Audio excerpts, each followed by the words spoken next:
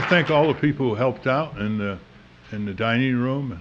Um, Some of them are right here, and, and others aren't, but uh, I, for one, appreciate what, what you all did and make it possible.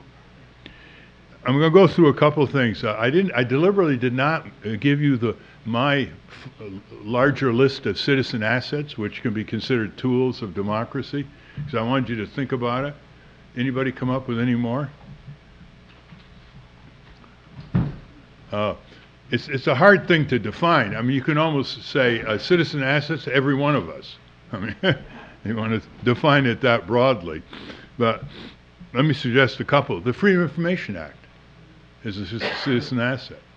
That, that has blown apart a lot of government secrecy and led to a lot of major media coverage. A lot of what the New York Times puts on page one uh, or 60 Minutes had their roots in uh, freedom of information.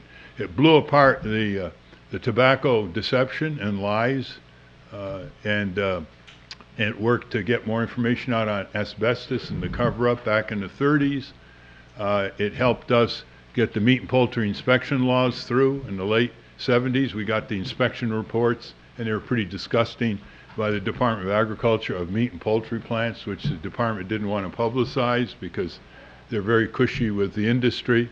Um, and There are just huge amounts of information, and it's still only the tip of the iceberg. If there was a group of 20 people whose only job was filing Freedom of Information Acts, they would dig deeper and deeper.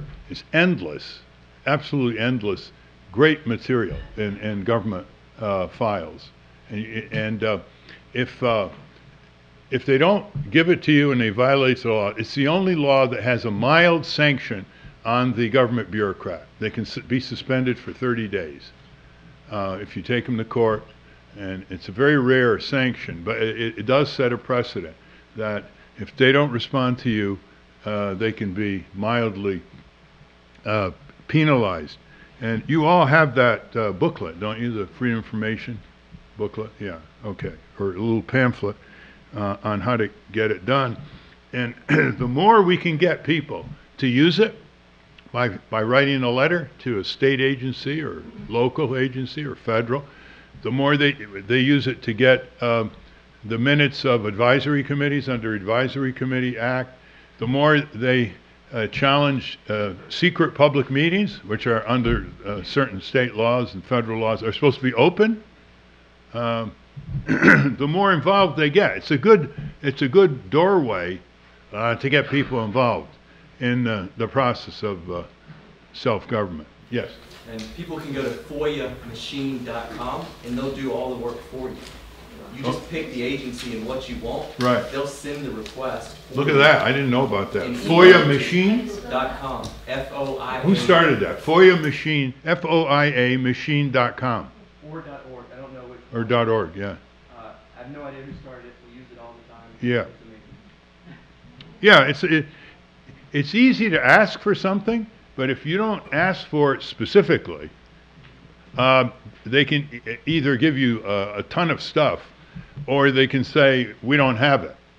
So, yeah, you gotta contour the request in the letter in a way of what you asked. Like when we went, uh, after the FAA to, to divulge its information on the supersonic transport, which one professor at Harvard led the way to block. And the French and, and British were left with the Concorde. And we, we didn't get the supersonic uh, transport in, in this country, heavily subsidized, by the way, and a real environmental threat. Uh, he took it on, and we filed a FOIA, and uh, they wrote back saying, "W- w- we can't find what you're looking for. I mean, we have warehouses full of material.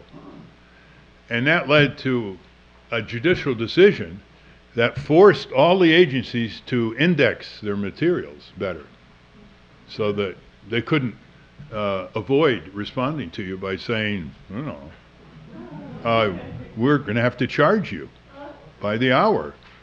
And, and they will charge you by the hour unless you can show that you're going to use it for a demonstrated public purpose, not for commercial purpose.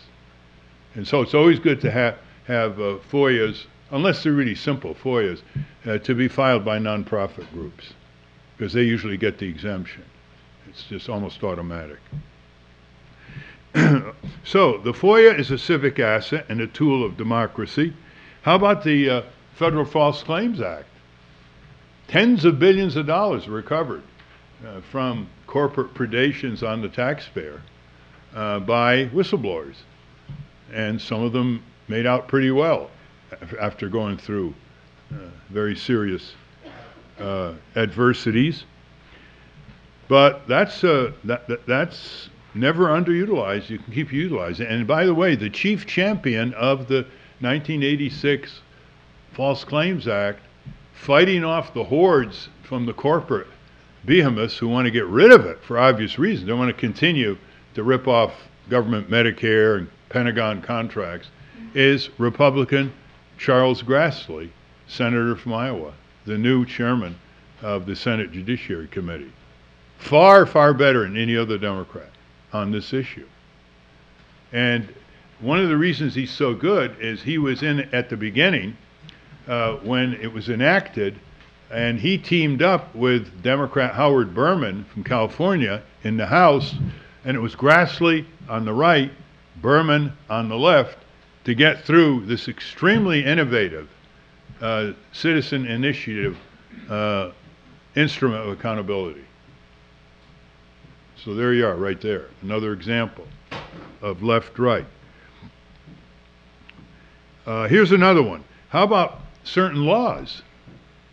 Um, you know, let's say you, you have a, a contaminated meat problem or contaminated water, drinking water problem.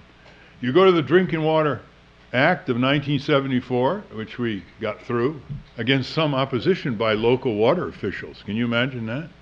I mean, it was horrible. We sent a, a young engineer around the, the local drinking water. Uh, uh, he went to Cleveland, horribly under uh, invested in, in drinking water facilities, drinking water purification facilities. He went to uh, New Orleans. He had a terrible experience in New Orleans. Uh, there was uh, a, a contamination uh, problem in New Orleans from the Mississippi River, and the officials took offense at being criticized. It's like, how dare you criticize our drinking water? One of them said to the press, there are a lot more dangerous things you can do in New Orleans than drink the drinking water. And on his way out, after he interviewed uh, the, the official in charge of New Orleans drinking water, the, the, the man said, and by the way, uh, where you go, you going back to your boss, Nader? And he said, yeah. And he said, will you tell Nader that he can kiss my ass? This is a public official. So if you think some of these things are slam dunk legislation, there's always someone uh, oppo- opposing them for a reason that you never thought would be the case. It turns out they were helped by government funding and upgrading uh, some of the purification systems. And uh, as we know, it's an, that, that's a never-ending battle because you got to deal with the pipes, the feeder pipes that go into the homes, the leaching.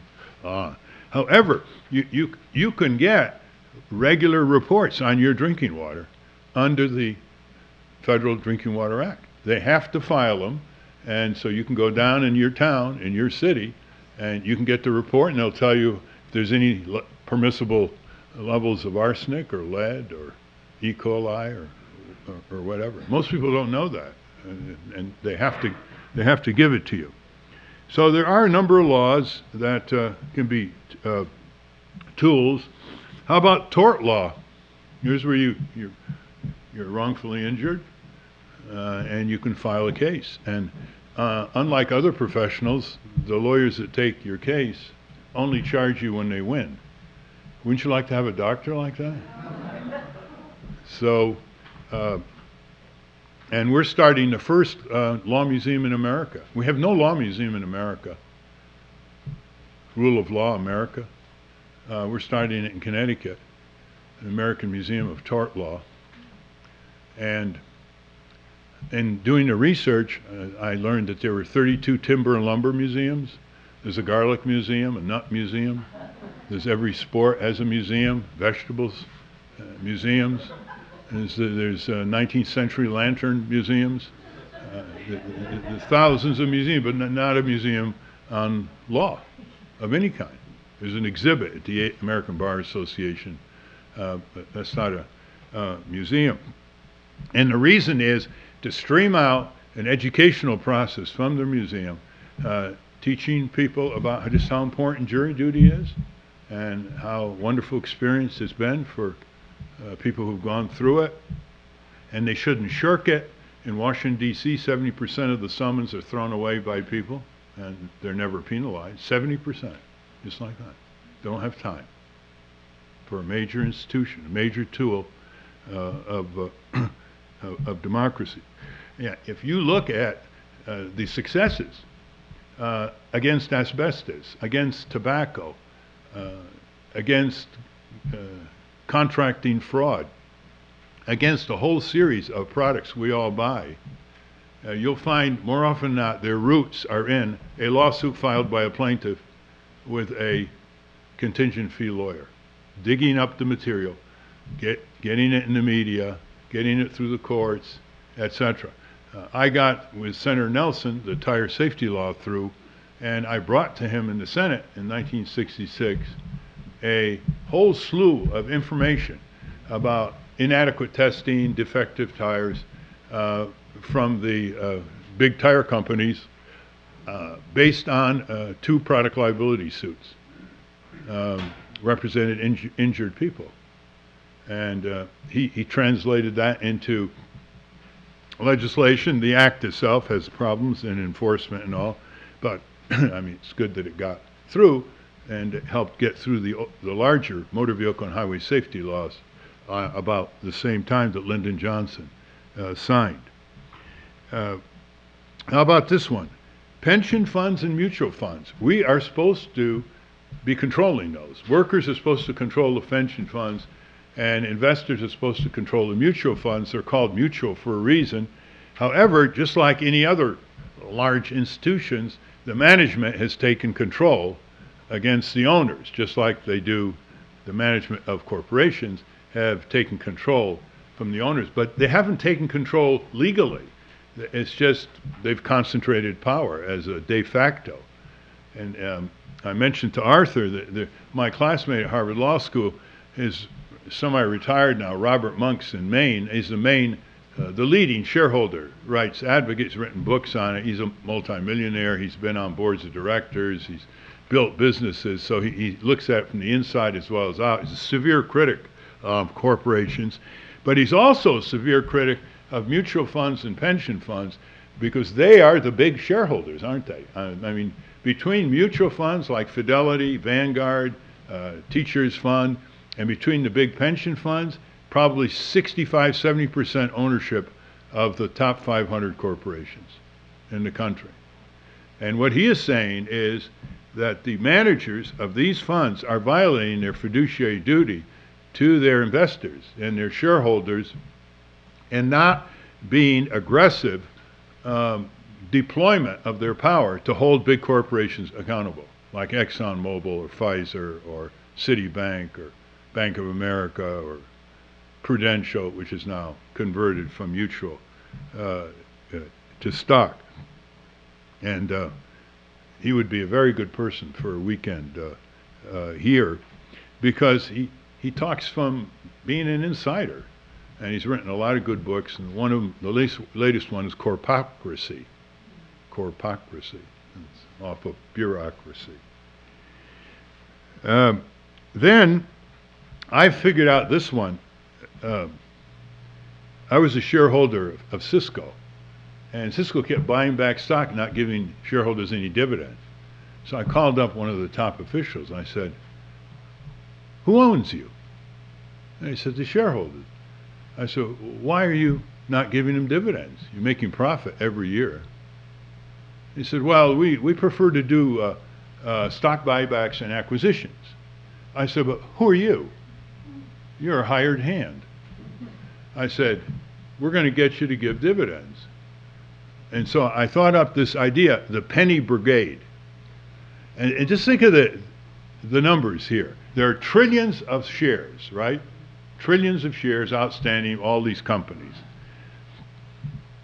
If the owners of 10 billion shares just 10 billion shares, donated a penny a share.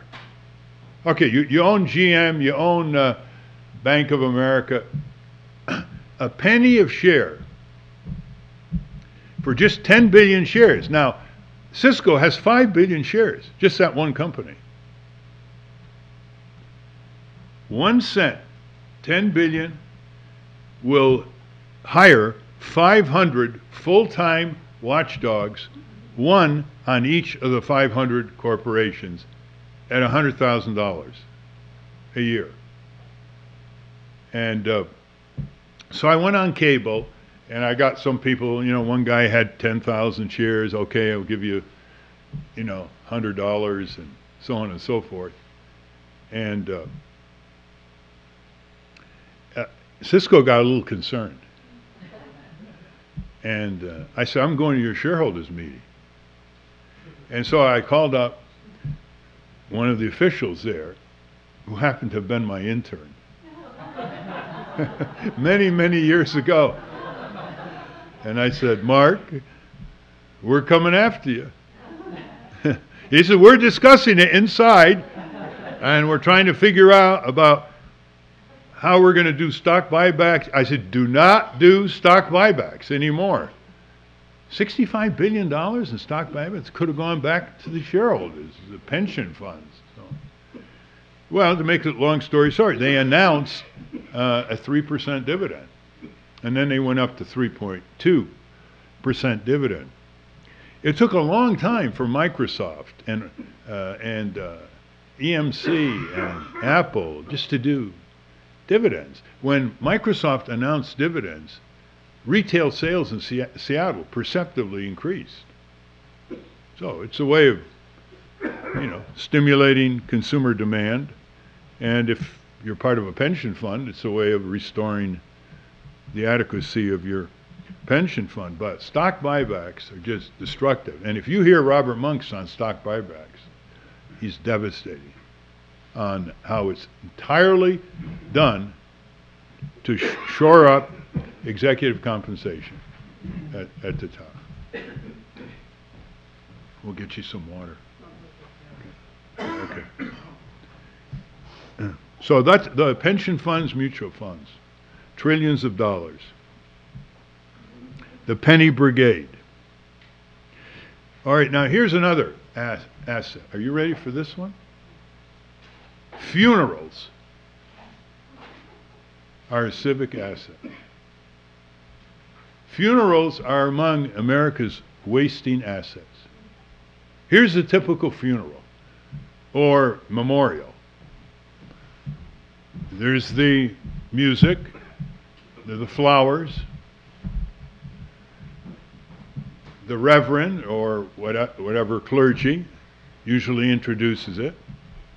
If it's a more secular memorial, the, the relatives come up and speak, and then the friends come up and speak.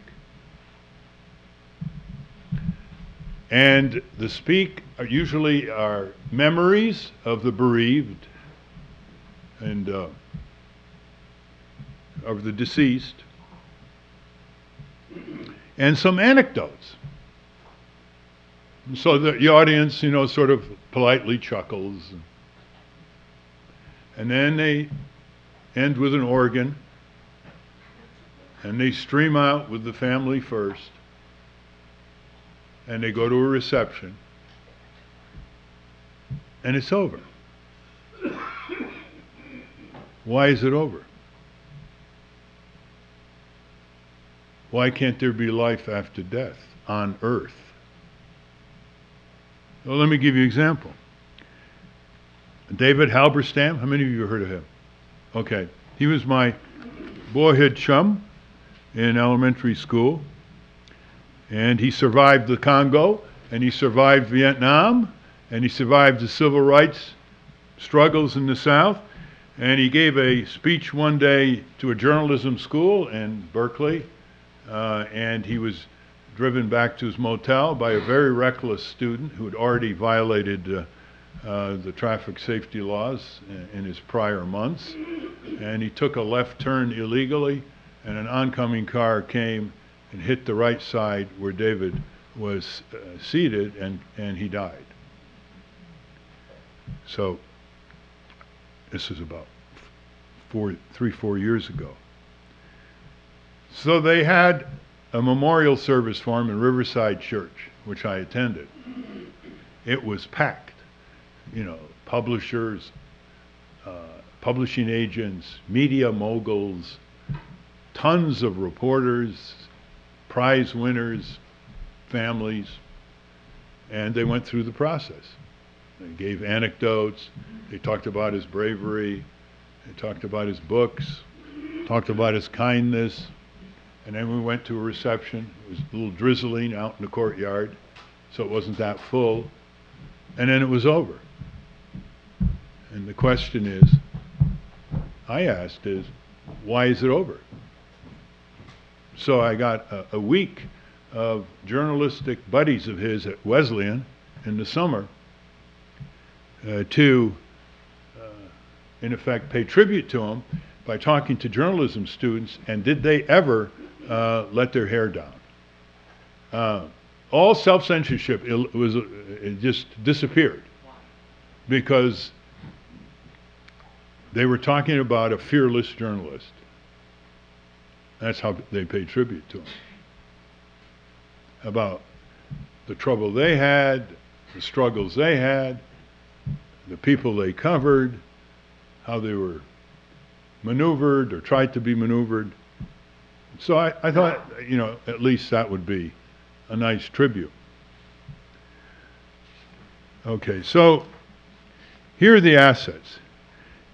Everybody who passes away can be an occasion to start a fellowship, a grant, a garden program.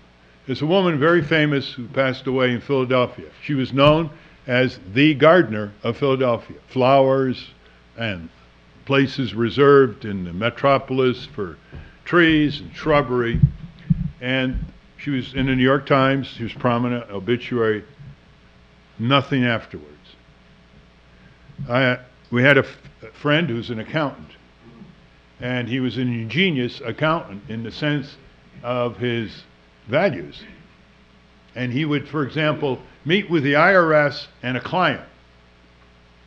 And he would say to the IRS agent and, and his client, he would say the following I am here to represent the IRS.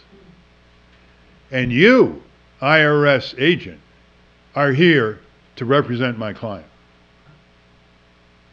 That's the kind of man he was. When he passed away, a thousand people filled a church.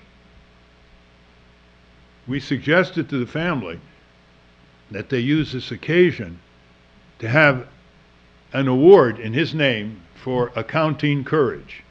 Uh, you know, the, the accounting firm needs that. The accounting profession needs that very rapidly. I mean, they're, they're the big cover up uh, on the Wall Street rackets, for example. And, but they were too, just too concerned, obviously, with the- funeral and, and it wasn't on their radar because they had other things uh, more seriously claiming their time. And, and it didn't happen. If it doesn't happen right away, it's hard to happen.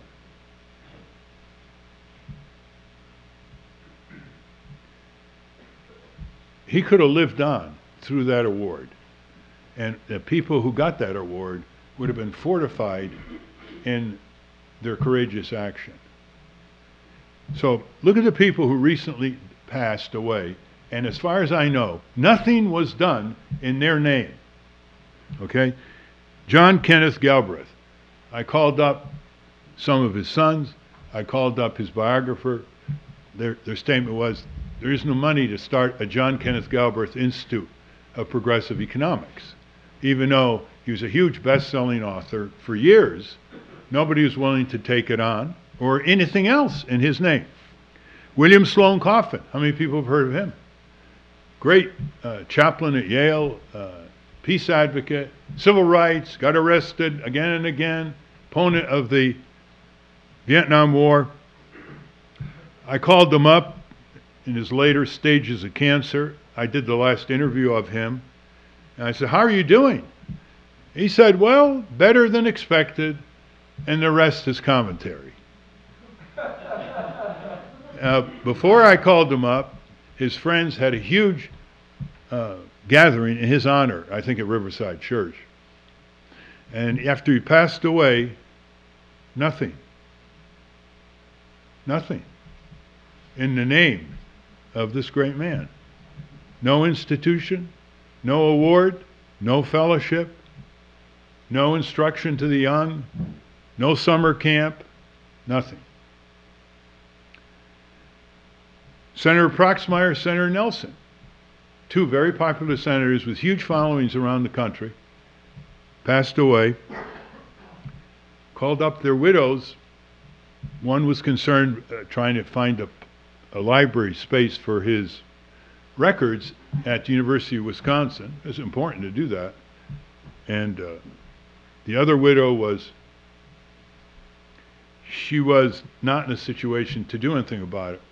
It shouldn't be up to the survivors. It should be up to the friends. And he had many friends, many staffers, and people working in the Senate office building and back home.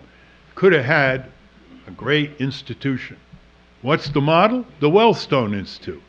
When Paul Wellstone died with his wife in that plane crash, his deficient plane and everything else about it, the, the children immediately took proper advantage of the huge outpouring of grief and big turnout in the gym, and they started the Paul the Wellstone Institute to train civic activists, and it's, it's doing very well. See, he lives on. His family lives on. Ben Bradlee just died in the Washington Post. Heard of Ben Bradlee, the editor? They had a huge gathering. They filled the Washington Cathedral. And the usual anecdotes, the stories, the encomiums. I write a letter to the Post and I say, you know, he has enough admirers at high levels, you know, with money and prestige to set up uh, a Ben Bradlee Institute against censorship, let's say. Just an example of many. It was a one paragraph letter. They didn't bother printing it, so I sent it to Donald Graham just a few days ago. Just think it's not going to work a year from now. It works in the immediate compassion period of memory. One more, Robin Williams. He passed away. Huge outpouring in San Francisco at his memorial service. I mean, you could think of all kinds of things, you know, to set up in his name. Last one. When Ludwig von Mises died, the right wing free speech, I mean, free market person that I, I discuss uh, in my book, Unstoppable, his followers set up a Ludwig von Mises Institute in a southern state. It has trained thousands of young student economists, and it has produced hundreds of books and pamphlets. Clearly, he lives on. So the recommendation basically is this three million people die every year. Almost every one of them could have something left in his her name uh, to enrich the community. Doesn't have to be very fancy at times. It could be a collection in a library or something like that. It, it could be a um, a yearly event to celebrate uh, repair people who repair the community know, plumbers electricians carpenters. Let's say it was a carpenter who passed away. Have a dinner honoring them okay? And they come together for the first time and talk about interesting uh, things. That's a way to enrich our democracy. So that's a wasting asset that can be brought together. My recommendation is to start a group that facilitates that because in the stages of bereavement, people aren't ready to do that. And they have to change their culture to begin with and change the customs and so on. You, you remember Jessica Mitford wrote this book, The American Way of Death. Well, there's an American way of funerals. uh, that's in a rut in terms of the potential. Two. on the Dead Poets Society. To, pardon? It's an expansion on the Dead Poets Society. Of the what? Dead Poets Society. Yeah, that's right, with Robin Williams, yeah. So that, uh, if you think about this, uh, a lot of the mechanics will be done by, th- by this group, or this, the, a few groups around the country. Now, you see where a billionaire comes in again? I mean, what would it take to set up a few of these groups around the country and get a new rhythm and a new expectation? Uh, because it goes with the wishes, doesn't it, of the bereaved? I mean, you're not, you're not contrary. You, it's what Clyde Kluckhohn, the anthropologist, said. If you want to change society, try to flow with the normal rhythms of the culture and stretch it. So that's just another asset. Anyway, it's good to talk about assets because it, all the assets empower people. They, they, they make people think they're not powerless. They make them think they've got tools to work with. And they learn the tools. and pretty soon, you got changes that stick. Uh, and, uh, which is what we want. We don't want episodic changes that then are, are, are rolled back. Uh, someone wanted to uh, have me say a few words about uh, corporate uh, regulation and internal uh, corporate. You know all the GM recalls uh, of uh, the, the, the ignition switch and I mean I think they've recalled 12 million cars already or so. I wrote the head of GM, Mary Barra, because she was saying we're going to change things, and she went before the Senate and said that, and you know, no more business as usual. And the problem is they're not set up uh, to protect confidentially the whistleblowing internally in GM by conscientious engineers.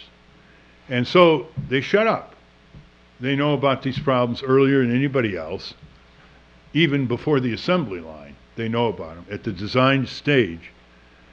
And so I said, why don't you set up an internal ombudsman office, direct line to the CEO, to take confidential revelations by staff and engineers, protect the confidentiality so they're not retaliated against or fired, and a direct duty to send that information to the CEO and to the Department of Transportation. That would have that would have done it. Instead, what they did, they appointed a new vice president for safety. Same old bureaucratic hierarchy. Why do you think they didn't do it? Well, I don't know. I can't answer that. Um, they, they would have to go against their rhythm of hierarchical bureaucratic uh, process. And GM is the hardest company I've ever met to change its bureaucracy. I mean, it's gotten into trouble for exactly the same reasons they got in trouble in the 60s.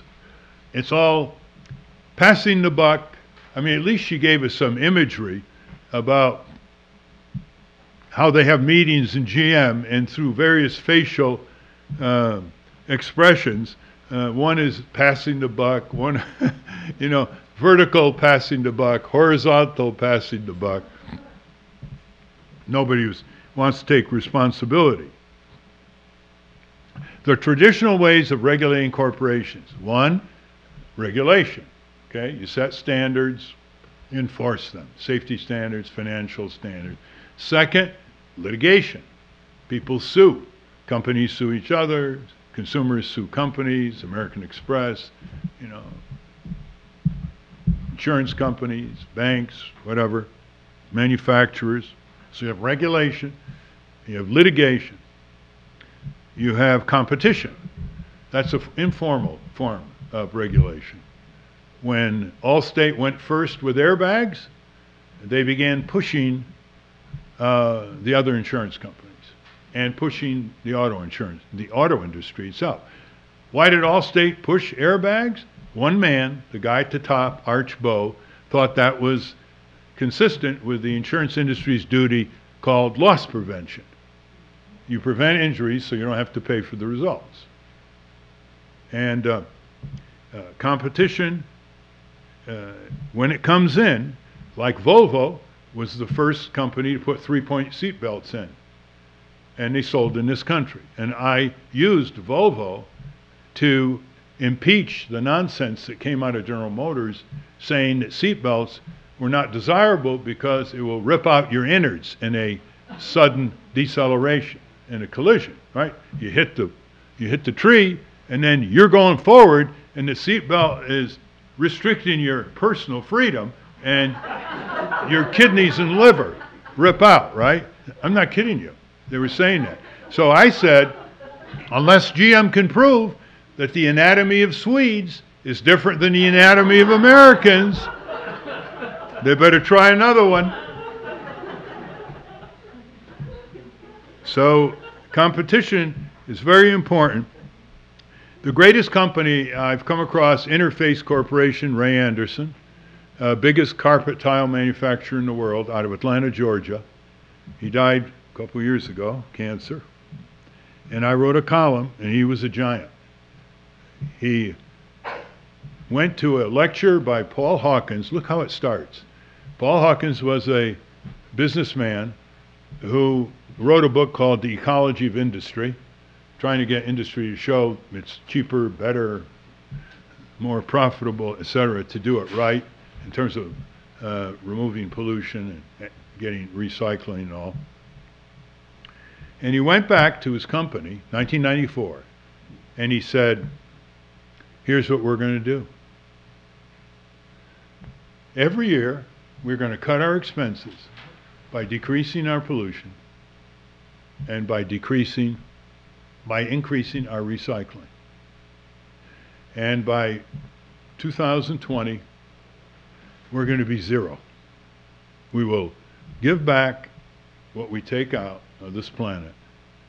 We're going to be zero. 100% recycling, zero net pollution. And every year, he moved closer. So he was starting to lease, lease carpet tiles, you know, bring them back. And unfortunately, his life was cut short. He wrote two great books. I mean, you want to read books by an industrialist on making peace with the planet? He called himself a recovering plunderer of the earth. And when you heard him speak, he was like an engineering, environmental, environmental engineering professor with his feet on the ground. He's the one, by the way, who persuaded second level uh, executives of Walmart that if they reduced their packaging and if they changed their packaging, they could save hundreds of millions of dollars. And to the extent that Walmart, apart from their low wage policy, uh, is doing a lot of recycling and pre-cycling, was due to his work. He would make 100 speeches a year all over. His name is Ray Anderson. Interface Corp. You go to interface.com, I-N-T-E-R-F-A-C-E. So we have It's the same thing Dave Freeman is, is re- recommending for getting renewal, renewable. Yeah, it's the same thing. Dave Freeman is going for 100% renewable and efficiency. I mean, he said, don't fiddle around with a percent here or two. We got to convert this. The planet can't wait. It, we know how to do it. It's being done here. It's being done there. It's just a matter of scale. Let's get it underway. Um, so you have regulation, litigation, competition. Another way is investor power. And you know, the clergy has bought uh, shares and they go and they try to get uh, arms control and resolutions in a variety of ways, uh, civil rights, and, and they've had some impact. But you know, they just have a few shares and they have moral authority when they stand up at the shareholders meeting. Uh, the big changes can come when, from the mutual funds and the pension funds. Get moving. The California Teachers Retirement Fund is in the vanguard. They've done some interesting things, uh, but or they've pulled out uh, of of companies uh, by way of dissent. Uh, that doesn't make the companies very happy. But we got a long way to go uh, on that. Whistleblower protection. Ralph, I have a quick question Yeah. on that uh, one, a strategic question. You say it's better to actually own shares, even a few shares, and actually try to be an activist with that? Or better to just for, like CalPERS of Harvard, for example, just to divest, so to speak, out of coal, natural gas, oil? Or is it better to have something and then say, we want you to change? You can do both, depending on what your state in life is. If you don't want to be an activist shareholder, as Harvard University doesn't want to be, then you want to do the, the divestment. The divestment for a big company is, is basically a reputational blow. It's not an economic blow, as you know. Um, uh, the whistleblower protection. Now, we've worked hard to get two whistleblower protection laws through, and uh, for both corporations and uh, and government officials. And it's an it's a constant improvement that's going on. Better and better uh, protection. People want to take their conscience to work should be able to. And it's better if there's an internal protection like an ombudsman and GM of whistleblowers. They don't go public, but they get their dissent registered at the highest levels, and it is registered with the regulatory agency in the, say, in this case, Department uh, of Trans, of Transportation. Okay. Uh, It's good to think about how to channel corporations. The most important two ways to deal with big corporations is displacement with cooperatives and community-owned businesses, you know, we talked about earlier, and subordination constitutionally and statutorily to um, real people, the, the rights of real people. And there is an effort now to uh, amend the Constitution to reverse Citizens United and so on. I don't go for that piecemeal stuff. If you're going to go for a constitutional convention, uh, constitutional amendment rather, go for a vision that deals with the problem generically, not piecemeal. Oh, we, we overturned Citizens United. You got to go for the whole business and, and say, look, our Constitution doesn't mention corporation or company. There's been a silent coup d'etat here over time. We're going to make it very clear that only human beings have constitutional rights, and the corporate entity is to be subordinated to the constitutional rights of we, the people. It's really interesting how brilliant the corporate lawyers have been over the last 150 years in terms of corporate uh, domination. When the Massachusetts uh, legislature passed the first chartering laws uh, for the modern corporation, textile mills, look what they did. They put them on a leash. They had to be renewed every couple years for good behavior. They couldn't go in any other business. They couldn't acquire another company. And they were deemed to be operating in the public interest. And then the corporate lawyers started. First, they removed the decision to charter from the legislature to a government agency. That makes it more malleable and less visible. Remember, uh, investors don't start corporations. Investors fund corporations. Corporations are created by government, by state charter and sometimes federal charter, to give them limited liability and perpetual life and all that. Rules of board of directors. And what's happened is that Delaware began to do the easy, permissive chartering and administering. And so the big corporations went to Delaware. Like GM is Delaware, Chrysler is Delaware, Citibank is Delaware. It's not New York or Michigan because it's a very permissive jurisdiction. It gives a lot of power to the executives and the board of directors over shareholders and over communities and workers. It's a corporate Reno, for those of you who understand that. Remember, Reno was the place where people went to go easy divorces. We call it a corporate Reno. I used to say, I used to say that Delaware, which, which used to get 30% of its revenue from these corporate franchise fees, most, half of the big corporations were chartered in Delaware. And I say, you know, GM could buy Delaware in a weekend if DuPont was willing to sell it. So they got a very permissive jurisdiction, and they were off to the races. And look how they evolved. First, they evolved because they gave limited liability to the investors. All you lost is what you invested. You didn't lose your home if the company went bankrupt. Then they started pushing for limited liability of the corporation itself. The Price-Anderson law for nuclear power, workers' compensation. And now they have such a range of limitations that they're, and you know, a lot of them are, are basically hardly pay any taxes, of income taxes. They are, they are moving to make the corporate entity itself immune from more and more legitimate restraints on its misbehavior.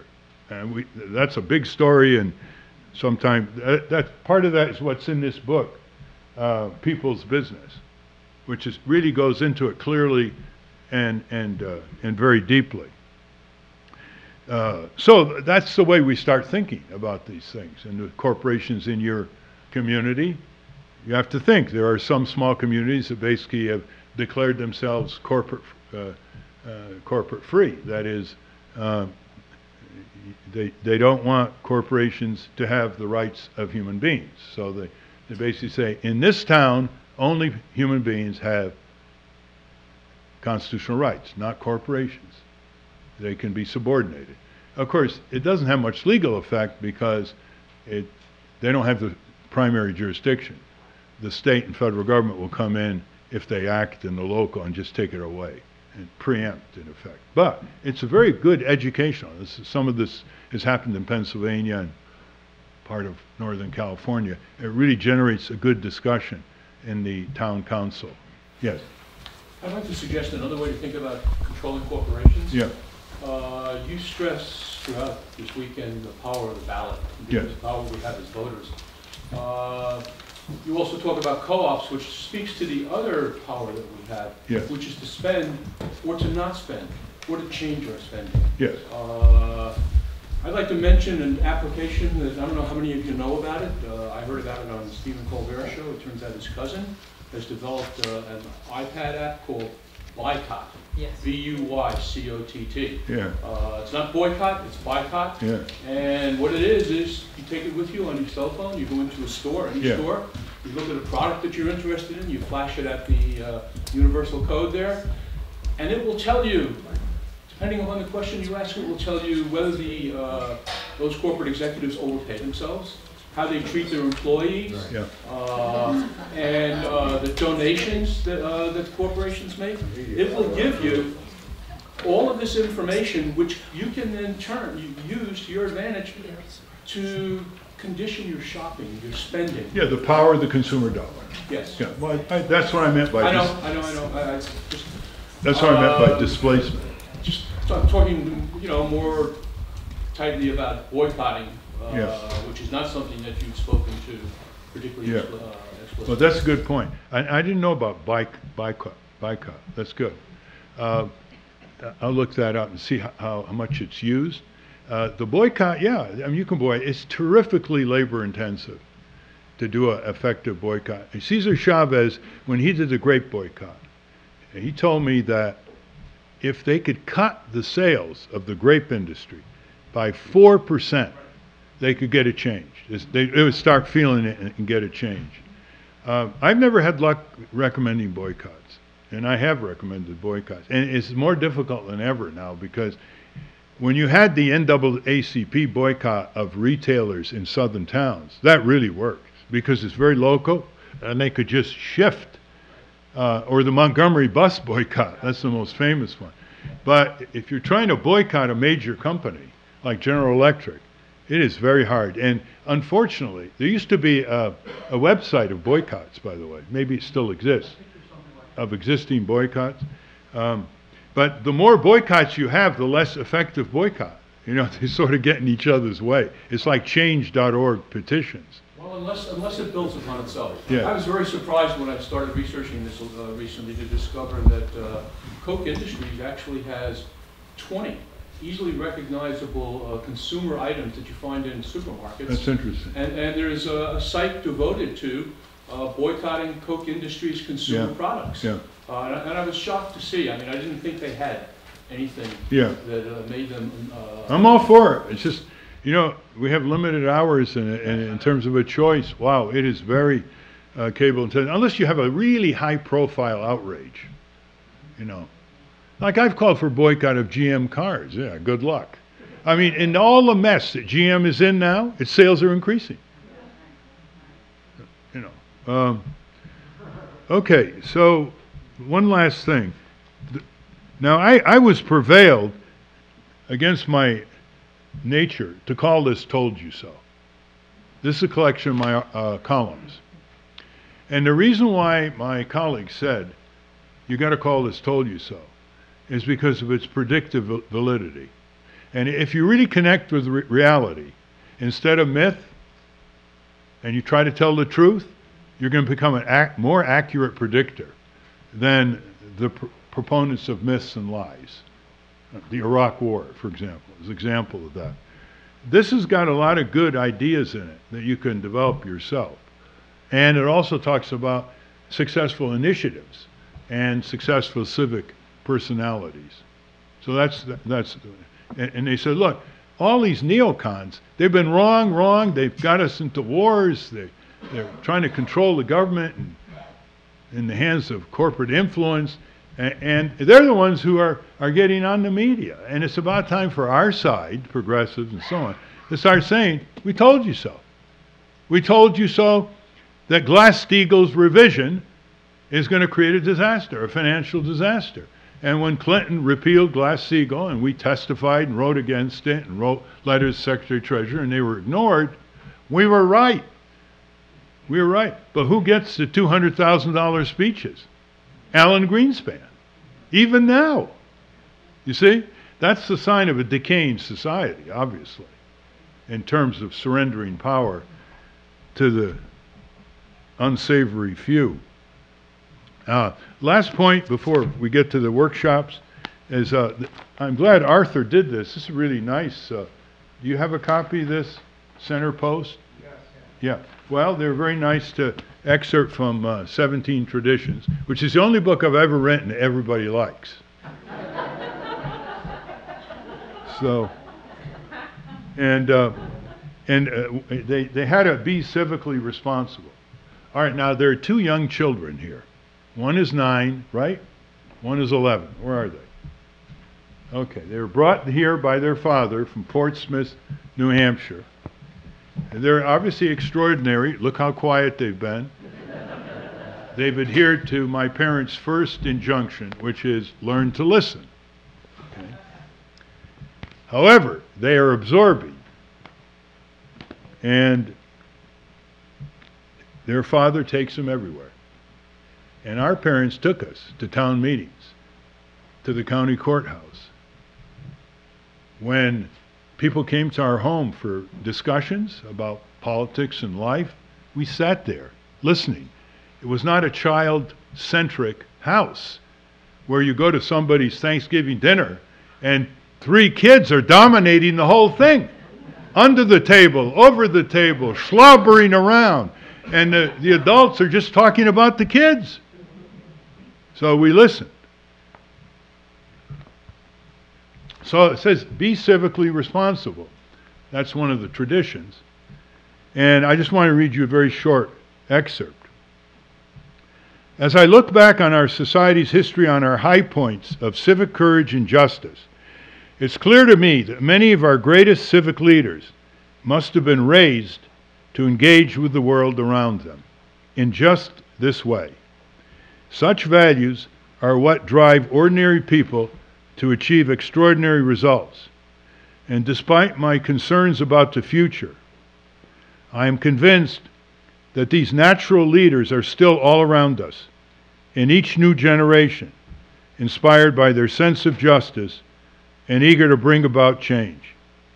These are our public citizens, the architects, movers, and sentinels of a functioning, successful democratic society.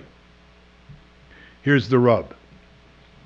When I meet these confident, steady, refreshing figures, I like to ask them how they became the people they are, how they developed such drive, such motivation, and such purpose. Quite often, they hesitate. Then they smile. And then they respond. Here's their response. Well, when I was young, my parents, my mother, my father, my teacher, my neighbor, told me, took me, showed me, inspired me. For democracy cannot flourish without putting an arm around the shoulders of the young. That's where we have to end up. And we're not doing enough of that. For a variety of reasons, the gap tends to be growing, and we know a lot of the reasons. They're technological, economical, etc. Economic, and uh, we've got to address that. So, so I'm glad to see these two young children with their father Steve here, and I think they're old enough to remember it and to uh, benefit from it. So, a little applause for Steve.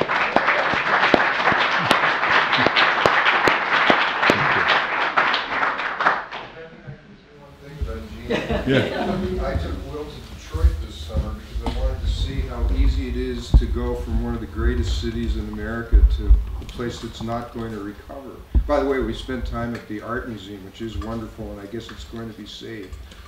I have to tell you, we went on the Ford tour, and I hadn't done it in many years, and Ford Motor Company's done a remarkable job with their factory, and we talked to a lot of the people, but I want to tell you something that you will appreciate. When they open the factory, they have a, a rallying movie that you see at every corporate event. And they actually show, I think it was the 1937 beating up of the Ford strikers in the black and white film. And when they say, we're not like that anymore. And when the movie ends, not only do they have the Ford blue oval, they have the UAW symbol. I thought that was pretty cool, and I talked to at least 10 people, and they really like the fact that they have a job in Detroit because they're hard to come by.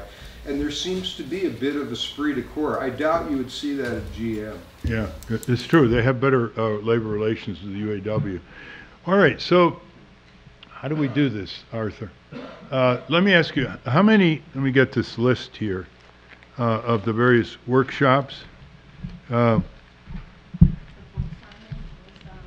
Okay, how many of you uh, si- j- signed up on the Cub? Okay.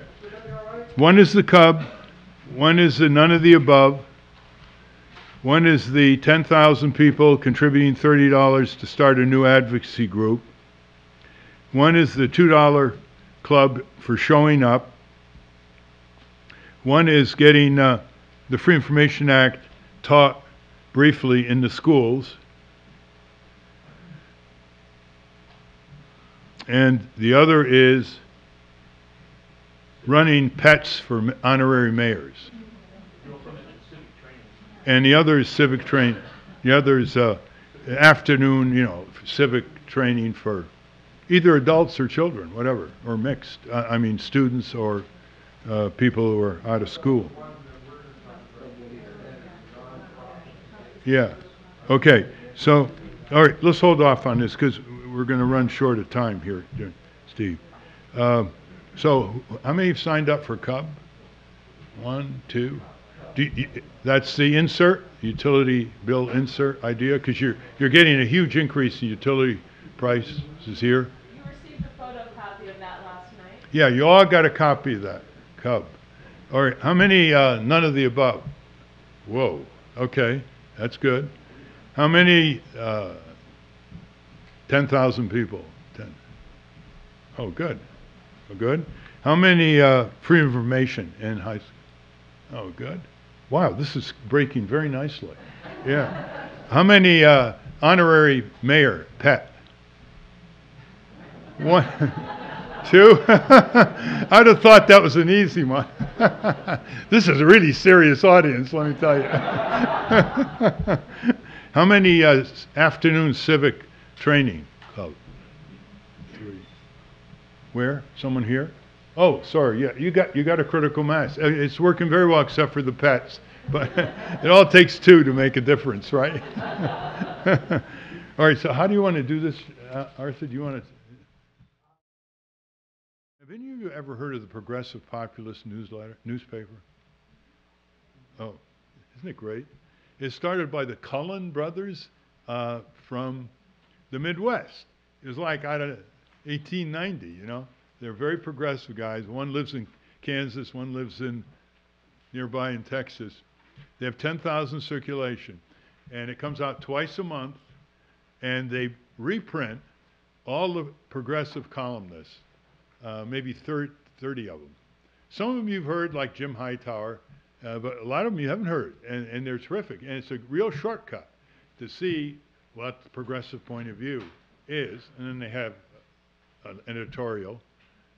And uh, I often give it as a gift. Whoops. Uh, I have, yeah, I have a little, uh, think, thanks on. That's the key thing here. Uh, it's Progressive Populist, P.O. Box 487, 487, Storm Lake, Iowa, Storm Lake, Iowa, 50588, 50588. And it's a great little gift to give to people who, hey, where's your evidence? What are you talking about? See? Uh, I mean, it's a persuader. I- it is really a persuader. Uh, so, progressive populist. Ronnie Dugger's written for it, Jim Hightower. And uh, uh, so they're making it, they're making a go of it. For those who are interested, I have about six where you can fill out the form and get it. Let's do it right now. Anybody particularly want it? Do you want to leave me a blank and at lunch I can distribute it? Well, that's good. Okay, great. Uh, They're really good. I mean, it's just, uh, it's like a, not a progressive nineteenth century, but it's very up to date.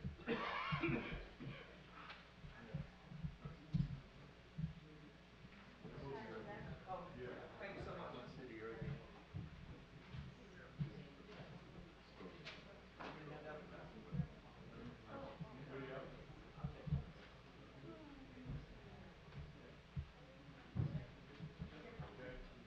Hey, Ralph, It is- it's- You can have a half-year subscription if you want to give it a gift.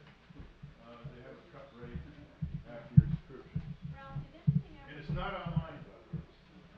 did anything ever come of that, uh, group that was gonna run a, a Democrat for president, a Republican for vice president, and create a party that went, was. No, that was, a- purple?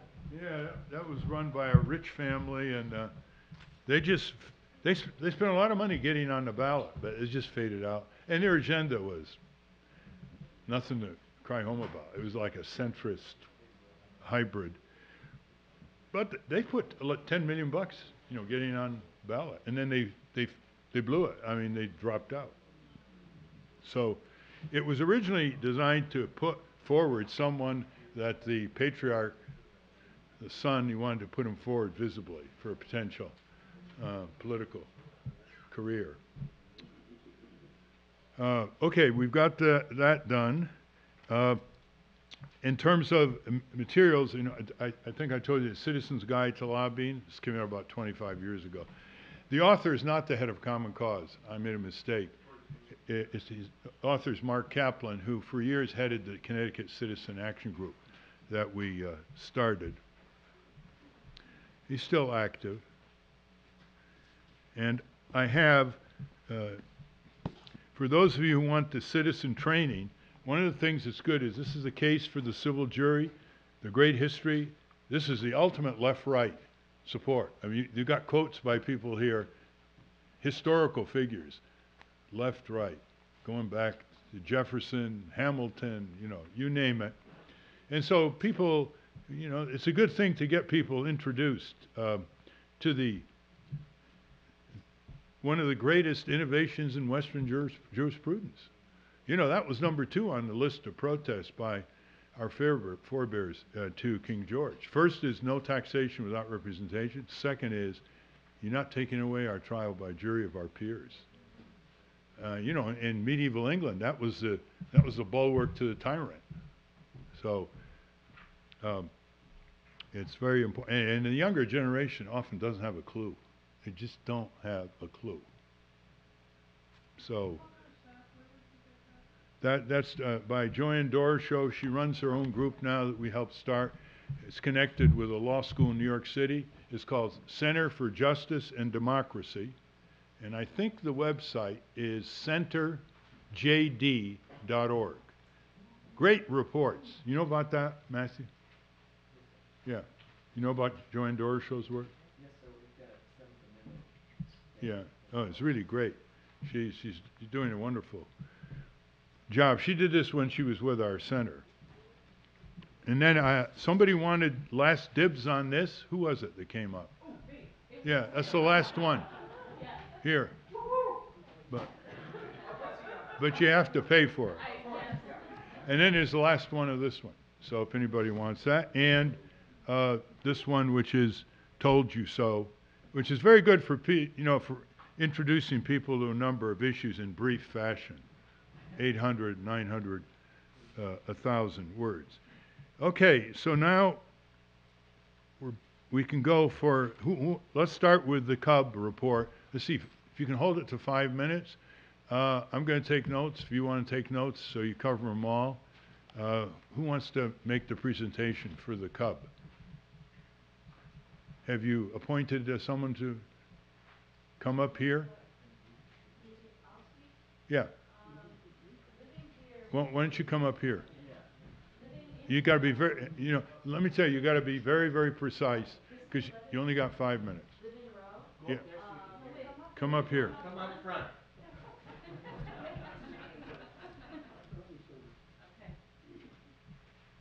Didn't expect this, so I'll, I'll wing it. Christine Levitree, live in Rowe, very concerned with the upcoming rate hike of 37%, have felt isolated but strongly wanting to do something about it. So that was a big part of my motivation of coming here.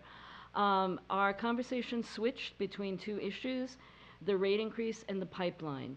And I think what we've come to realize is they're very interconnected. The one that's necessary and immediate is the rate increase. So I think I feel personally hopeful with connecting with a couple of people I hadn't met to begin to address this issue, along with Ralph's information, and he sat in with our group and was very, very helpful. So I think the small little group we had of three, four local people is a good beginning. So where um, we're going to do a lot of research and figure out where to really start to be able to affect the change. I'm also connecting the MoveOn.org petition, which I just received with 200 signatures. So on a personal level, I'm going to kind of move forward with informing myself of other possibilities and sharing with the group what I find out. And you're going to get two legislatures. Yes, two legislatures immediately involved. And so, and Steve seems to be on that part of it, so. It feels hopeful. Thank you. That's to introduce the bill. It's essentially been drafted. They can just adu- adjust it to Massachusetts law. And you've got two very good progressive legislators apparently who will uh, jump to. The next one is the uh, none of the above, no, NOTA. Who wants to do that? Okay.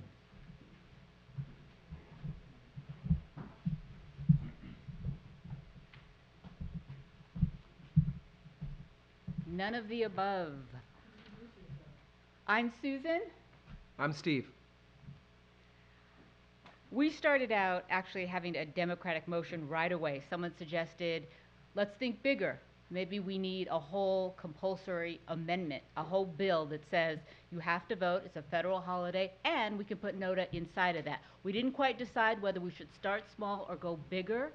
Um, and as well, do we start local, state, federal. Again, these were all issues that we were still working out. This pamphlet right here on NOTA is 17 years old. So our first question is what's been happening in those 17 years? We don't know. And our first action would be to call, contact these people and find out what have you learned and, you know, where to take their knowledge and start from there. to add to that, we also, as a group, each of us uh, decided that it would be very important for us to educate ourselves on our local politics, edu- uh, board of board of uh, voting, excuse me, uh, rules um, for the county, for the town, for the state, um, so that we could work both top down, federal down, and local bottom up, and getting it in balance. Are you all in Massachusetts or different No, no. No, we're in different areas. And so in terms of emotional tel- intelligence, we thought, how are we gonna motivate others? So we asked our own group, why did we pick this particular topic? And so we had, um, just a whole host of issues. A lot of people wanted the FU vote. Um, we wanted an actionable vote. People wanted to feel like they were, um, making a difference. It gave them more freedom. It increased their speech. Um, and so that was important for us just to get a sense of why we're here, so we can spread that to sort of increase the public will. It's also raised, uh, one of the actions we'll do is to reach out within our, working bottom up, reach out in our communities to find out if this has been acted on by League of Women Voters, by Green Party in the area, have they taken any steps? What, what has already been done in the area so that we don't rehash efforts and we can benefit from their learnings? Yeah, and when we, re- we really wanted to try to find out how does it work, the implementation. For example, if someone is basically the none of the above wins, what happens to those other candidates? How many re-elections can you continue to have? Are they, you know, basically in a do they stay in? Does the prior politician stay in that role? We don't know. It's very complicated, so we haven't quite worked those out. But those are the big questions. Um, we know that it's expensive to continue to have reelection. So these are the real challenges. Um, we just know that the idea of being able to go out there and have your vote count, even if you don't like any of the candidates, matters. It raises the game for the candidates that are on the ballot as well. And another way that we uh, found to identify people in our communities who may be attracted to this issue and might want to sign on to get that 1% was to get a hold of the voter rolls and con- reach out to people who did not vote, registered voters who did not vote. Why didn't they vote? Is it because they're disaffected and they felt their vote didn't count? They may be attracted to this issue. Right. Yes. Could you put like, do like a non-binding referendum just in your area, just to get a feel for? Have to do more research, I think, at least. Yep. Uh, I suggest you contact Richard Winger Winger? at Ballot Access News. He's the national expert on all things ballot. Ballot Access News. Yes. Thank you. And you can get to him uh, through that website, ballot-access.org. In San Francisco. Yeah. There's one, somebody over here. Another question? Yes, sir. Well, uh, in the mid-'90s, uh, we worked on a ballot initiative in California for NOTA. It was done by uh, Harvey uh, Rosenfield at consumerwatchdog.org now, now. And if you speak to him or Jamie Court, give you more details about that. That was, uh, Ralph was, Co-founded. yes, the organization. founded the organization that, we tried to get that on the ballot. That was Harvey Rosenfield. Yeah. What was the organization again? It's Now- now called consumerwatchdog.org. Thank you. They may actually have the uh, ballot. uh, The ballot ballot initiative, which would, which would have been a binding law if it got on the ballot and passed in California. That's, that's a very simple NOTA, it would have been for statewide elections. Any other questions? Oh, no, we did that together. Terrific, thank you. Thank you all. You're Laura's, Laura's daughter, Laura's student, right? I am. My, my sister Laura, who's taught anthropology at Berkeley for 52 years, Susan was one of her students. And the course was on controlling processes. So I'm sure she would be happy when we tell her that. Uh, one other thing we didn't discuss left right was initi- initiative referendum recall. That's a big left right. And although the corporations have hijacked it in a number of ways, it doesn't mean we can't use it. And we, we've won a number of them. This is a good one for initiative referendum recall, NOTA. It's good the idea might roll it up into compulsory voting. It's a higher hill to climb, obviously, but that's for uh, tactical uh, uh, considerations. Second, the third one is the 10,000 people, $30.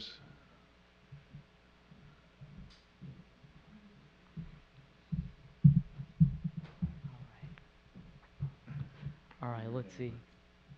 Yep, uh, let's see. All right, let's see. Okay, got it. We're on. Yeah, I'm basically, uh, my name is Nick, uh, Nick Sugar. Obviously, you uh, know the group that we are. I'm just going to summarize, so to speak, what our group did, just as a representative, so to speak. Um, now, we were charged with, so to speak, coming up with a great advocacy idea, um, or uh, in our case, several, um, for getting 10,000 people uh, united, motivated, et cetera, uh, and raising $30 each. The first was an optimization uh, idea suggested uh, by Karen Quinn, which all of us loved and agreed on unanimously. Um, and I think, Jack, it's a great suggestion. Is that $30 is too high of a hurdle, so to speak, for anything to raise? We felt that 9.99 or 10 bucks would be a great idea, or even $1, so to speak. And so it's much easier these days on Facebook and Twitter. In fact, what I'd recommend uh, to your even email list to try to go for $10 a shot per person and get 30,000 people involved. Also, it's better democracy as well. You're getting 30,000 people versus 10,000. So there's a lot of great reasons for that. That's the first optimization we did, no matter what advocacy organization you're starting. And I think all of us can learn from that idea, you know, for whatever group you're in and, you know, you're doing any fundraising or anything like that, shoot for 10 bucks, not 30, go for more people. All right, that's the first great idea. Uh, then beyond that, we have five uh, advocacy great ideas, so to speak, uh, for progressive organization, so to speak. First one, um, going to keep about one minute for each to try to be egalitarian here. Um, we couldn't really decide on one particular. We didn't think that it was enough time. Um, as I said, if there's one smart person, everybody else is kind of you know half wits. That's one thing. We had a lot of smart people, so you know, and a lot of smart people here, so it's been really wonderful. Um, so okay, first idea real quick is uh, organization I've been working on actually for about four years trying to launch called optimalhealthleadership.org. Uh, the website's up, but it's yeah, optimalhealthleadership.org. Yeah, thank you. It's a nice website. There's not much content, but I plan to accelerate on that. That's why partially I'm here, and thanks to Jack's motivation uh, and all of you here, it's been amazing, and I'm totally, totally fired up to to go full steam on this. So thank you to all of you. Thanks for this program, and of course, thanks to uh, Ralph uh, Ralph Nader. Um, so uh, we wouldn't be here without him. So anyway, that's uh, an idea, and basically in in one or two sentences, without going on too long, since I can go on a while here about that, uh, is it's to unite the top medical doctors, scientists, nutrition scientists, environmental scientists as well, uh, and public health leaders, so to speak, at the Harvard School of Public Health, Johns Hopkins Bloomberg, University of California, San Francisco, like Dr. Dean Ornish over there, and many other international experts, so to speak, in the US and Canada to uh, champion effectively an optimal nutrition program. We already know what the optimal diet relatively is with you know 80% agreement on that. Environmentally, we have the worst food system in the history of the world. It's the most toxic food system. We all generally know it. You should know it if you don't. And we need one centralized website, one centralized organization that effectively can work with the media and fight the media misinformation, disinformation is controlled by the corporate lobbies. And also, the media loves the controversy, chaos, confusion model. It doesn't benefit anyone. When people get confused, make no mistake, people make bad decisions with their diet and they go down the wrong path, and in a year, five years later, their, their, their suffering worsens. So anyway, enough said on that. Okay, moving along to idea number two. Uh, idea by uh, uh, Steve Parker Field over there, uh, the wonderful dad who brought his kids. Uh, he had a great idea called uh, Good Book, and I just said goodbook.org. It's an attempt to, believe it or not, and we're not talking small here, his idea is to take on Facebook. So it's, it's not a tiny idea. Um, and the idea is effectively to have a network that would be work just like Facebook, except Facebook steals a lot of your information, quote unquote steal. And of course they monetize it. Uh, and people, most people don't really know that. Go ahead. Ello is doing this. Are you familiar with Ello? No, never heard of it. Vermont? No, never heard of it. Really? Yeah. Okay. L, how do you spell that? They, they've made it, written it into their mission that they will not ever accept advertising. Yep. And they will not ever sell user data. Could you, could you, E-L-L-O. E-L-L-O. Okay, thank and you. And they've just become, uh, uh, they just became a joint public vent, uh, utility so that uh, even if they get sold or bought, whoever buys them cannot do it either. Okay, fantastic. Their business model is that they will network. eventually charge for added functionality. Okay, sure. It's a social network just like Facebook, basically. Okay, thank you so much for that. So obviously someone's already thought of, you know, there are only so many great ideas in the world. Somebody's thought of it. Um, all right, so that was idea number two. Uh, idea number three uh, was thought of by uh, Robert uh, Loeb. Uh, and uh, that was, uh, I called it betterworldlegacy.org, just to give it a name. The idea was effectively, as a, as a dad, he's every birthday comes around for his son. It's kind of an offshoot on what, what um, you know, Ralph thought of his idea that he tried with Baltimore Sun. And, uh, but it's, I think, a, we all felt that it was a better idea, um, actually, and, and it would have more emotional resonance, so to speak, with that. And that was effectively that um, every dad or granddad, you know, uh, when the birthday rolls around for their uh, granddaughters, uh, their grandsons, et cetera, or their son and daughters, can effectively choose to kind of give a gift rather than giving some material gift, right? Something material, possessive, et cetera, to kind of put something in their name and say, hey, let's pick a great organization. What do you like? You know, or that could get the kids involved, right? One of the things we ended with, uh, how do you get kids involved? How do you get them to become activists and get passionate about making the world a better place? This is a great way to get them involved, get them excited, um, and get the dads. If they're too young, obviously the dad, you know, Single moms. Yeah, Right. grandmothers. Sure, exactly. Yeah, I mean, any anybody, of course, with a you know son, daughter, granddaughter, anybody could get involved to do this. It's a great, great way again to to teach, uh, to mentor. Uh, you know, it's something we all really need to be doing that are the parents or grandparents. So it's a great idea. We we love it. Um, and uh, then uh, Steve added on an idea that is kind of a separate idea, so I kept it as a separate idea. It's not really. That's four. That's right. Uh, that's Ralph. Um, uh, so yeah, the fourth idea is uh, I call it the Vanguard uh, Better World kind of gift investment account. Um, and there are some ideas like that investment world, but this is I'm not sure anything exactly like this exists. It might already exist. Um, but anyway, I'll spell out what the idea is. And he just thought the Vanguard would be interested in doing it, which I tend to agree as used to be investment researcher, so I've experience with them. Um, and there are other socially responsible companies actually that would definitely be interested in this actually, even better, more, more than Vanguard.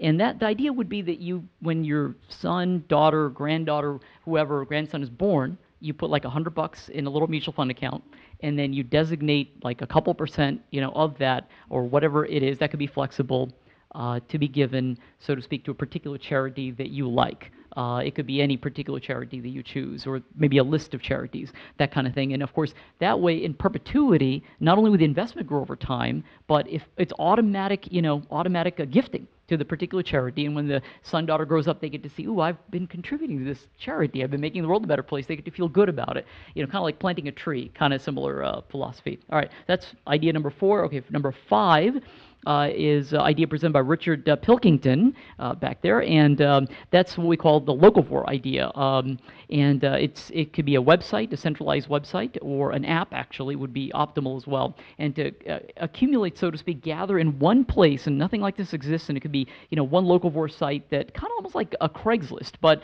uh, to think of it that way. But for each particular state or particular city, and effectively you would have a centralized uh, map and say, oh, here are the local state parks, libraries, here are the particular co-ops, you know, in the particular people make even aware, oh, wow, we have no co-ops, you know, we didn't even know we had this many co-ops in the area. There's one not too far from me, maybe I should visit it, you know, so that's a great idea. And also it gets people, farmers markets, CSAs, you know, should be included in that, obviously, to encourage the whole locavore idea. And obviously any other stuff of interest to, you know, that particular community could be easily added on. Uh, so uh, that again could be a website, and ideally it'd be very easy to turn that into an app as well. I'm, I'm absolutely confident about it. So that's it. Those are our five ideas, and I'm going to hand the mic uh, back up to Ralph. Thank you. You can just put it down. Thank you, Rick.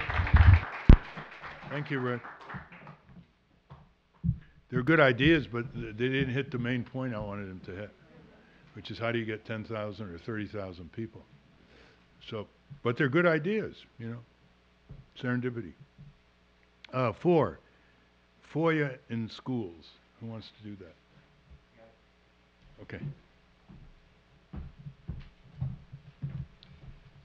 All right, so we had, we had the Freedom of Information Act group. The Freedom of Information Act is simply a federal law that also has state laws underneath it in most cases. Uh, uh, sure, I'm Matt Weatherington. I'm from Atlanta. Uh, so Freedom Information Act allows you to get certain documents and information from the government. Uh, you have to specifically request the documents, uh, but not a but not necessarily. I want document number X, Y, Z. You could just say I want the report on X, Y, or Z. So, for example, you want to know about nursing home abuse reports. You would just say, "Can you give me all your documents about nursing home abuse at this nursing home over the last two years?" and send that to the police department or whatever federal agency regulates that. So our charge from Ralph was to get the Freedom of Information Act into schools uh, through whatever means we come up with. And Claire Nader was in our group and shared with us a success model that's been working for 22 years now in Winsted, Connecticut. And what they will do is have a lawyer come into the school and present to the children this is what the Freedom, of Information Act is. Here's how it works. Here's the types of information that you can obtain. Here's how you put your rights into action. And we'll actually have the students compose a Freedom of Information Act request and submit it to the appropriate agency and get back information. And the students will also write an essay and can also, uh, there was another thing they would do, but in the end, they would be, huh? Yes, they would get a prize at the final assembly at the end of the year, some monetary prize for the merit of their essay or the work that they performed. So, following Claire's model, we've got 10 members in our group, and we now have 10 members who have committed to give at least 10 presentations in our local schools. Uh, so, at a minimum, we've got our core group of 1% who are going to start doing something. We're going to partner with our local trial lawyers organizations and or government organizations who know a lot more about FOIA than, FOIA than maybe our individual committee members and also would be able to help have a personal interest in making sure it happens, whether it's for publicity reasons or getting, getting into the community themselves. Uh, so we'll be teaching the FOIA to the students. We've also uh, in, implemented an accountability model. We're going to we have an email flowing around We'll follow up in a couple of months to make sure that the members of the group are actually doing this. And if not, you know, what are the barriers and how can we get through them? So that's happening. Yes, sir. Quick question, what grade level um, are you targeting? You know, it was kind of across the board. It seems like there's not a single person of any age that would not benefit from knowing their rights and how the Freedom of Information Act works. So I would say anything over fifth grade where you can read and write. Uh, seems to be that this would benefit them to learn. That's true. Any other questions? All right. Thank you, guys. Can you talk about class examples of what you've what's been disclosed? Sure. Uh, Ralph asked me to disclose information about uh, other things that have been disclosed in the past. Uh, what context? Anything that succeeded in getting The VA was forced to release their entire software package for their electronic health record system under a FOIA request. It's now the basis of um, electronic medical records uh, across the United States uh, for community hospitals, for low-cost hospitals. Uh, uh, India has now adopted it uh, in about uh, 50% of the provinces, and the nation of Jordan has now adopted Vista, again, uh, generated by the VA, released by FOA, uh, uh, the FOIA Act, and now open source, and the, the entire nation of Jordan has now adopted it. The Indian Health Service uses Vista. A version of it, yes. All the community health centers in Michigan, open source. It, for those of you who aren't familiar with FOIA, I want to be crystal clear on this.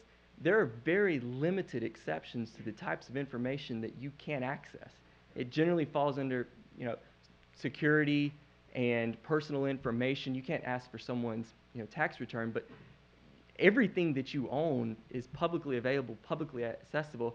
You just have to ask for it. So if you want to know about, for example, Michelle deals with this constantly, what pollutants are in your local water, just ask your local environmental agency, and or if they don't know, they'll direct you to the federal agency. I mean, the information is there. People just aren't exercising the rights that they have, and this is a step in the right direction. And thank you for giving us an opportunity. Thank, thank you, Matt. By the way, anyone in the world can use our Free Information Act. And, and I'll give you an example. In Canada, where they didn't have a Free Information Act, we had a group of law students who were monitoring meat and poultry act, uh, plants. And so we told them, since there was an agreement between the U.S. and Canada to have inspectors, because there was trade across boundaries, so Canadian meat would come here. We had USDA inspectors there. Therefore, the USDA had inspection reports about Canadian plants.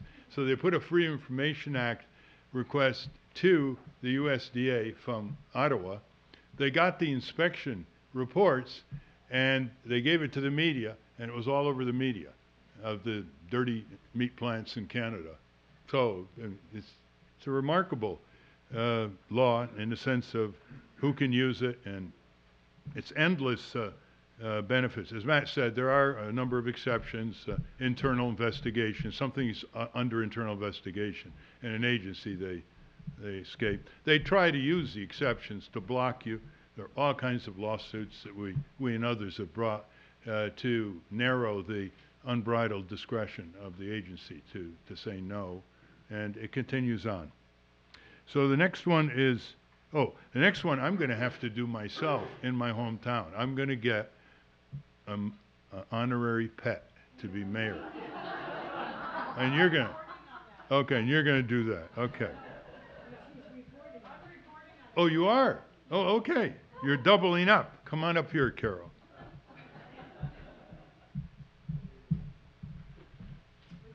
Uh, uh, It's on the election of the pet slash fundraiser. Um, Carol Miller, New Mexico, and I spend a lot of time fundraising and writing grants and everything else. And the reason I like this is that our community center used to have a raffle, and it's a lot of work. So I'm going to propose at our next board meeting that we do the honorary mayor election. We have no elected representatives. We're unincorporated, a town of 300, and Ralph's right. People will do more for their pets. I try and raise money for children's books, and I think the pets will raise more money. So we're going to have an election, and then we're going to pressure specific people to. I mean, the whole irony of buying the election is the part I like. It really, it really like opens the window where we can go to someone whose little nipper dog bites me every time I go over to their house. Say, we'll let her be the mayor, honorary mayor. If you give a hundred dollars, you'll probably have the most votes. But it's just a way to really do something fun, and that's what's so great to me about this one. We're so serious all the time, and it's so such a struggle to keep the doors open. But I think this will actually raise some money, and I think it'll be copied in a lot of places across New Mexico. The our food distribution, I run a, a food bank and work with a network of food banks. We now get pet food through the food distribution system so that people can have food for their pets. And there are more donors to that right now than food for humans. So it just lets us really talk about a lot of issues. So I'm definitely doing it. We'll have our first honorary mayor, and I hope it's a goat. Hope it's a goat. That's right. Yeah, the goats are being unleashed now to uh, do what uh, machines spouting fossil fuels do in terms of clearing land. Um, okay, the last one is uh, civic training clubs or afternoon clubs. So.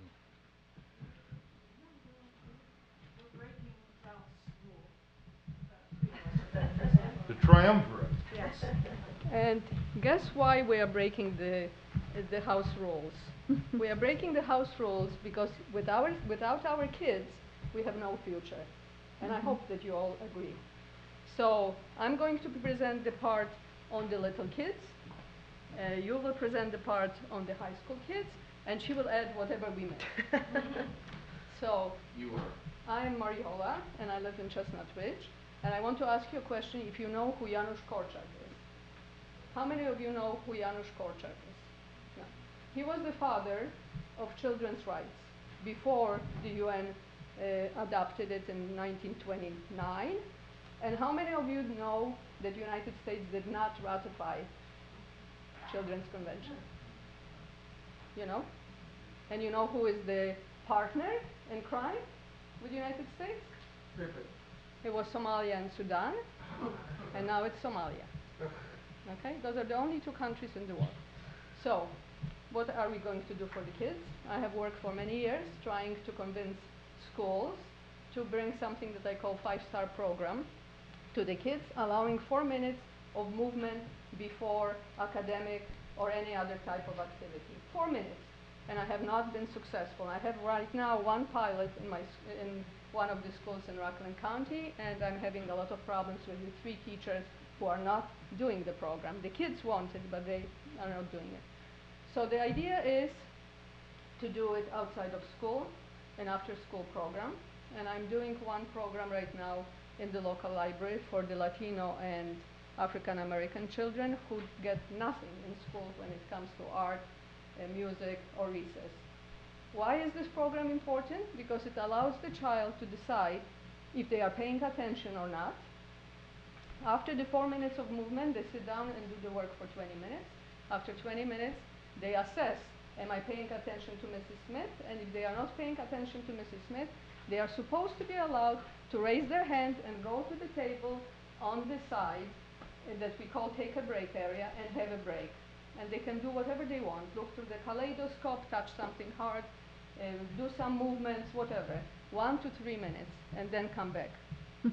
Schools, you think that it's easy to bring something like this to school? It benefits the teacher and it benefits the, the kids? No way, okay? Really obstacles. So after school, we started it in the library, in the local library. I know that I'm running out of time, I'm sorry. And we had 50 kids signed up. Within a week, we had 100 kids signed up.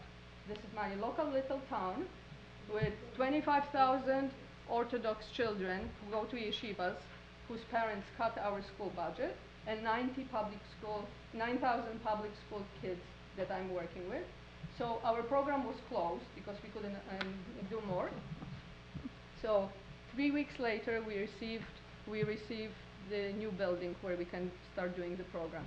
The part of the civic, what I've learned here, what I want to introduce is that after the kids are finished with the homework, they are going to start learning how to answer the questions about what rights they have. Children don't know in the United States that they have rights.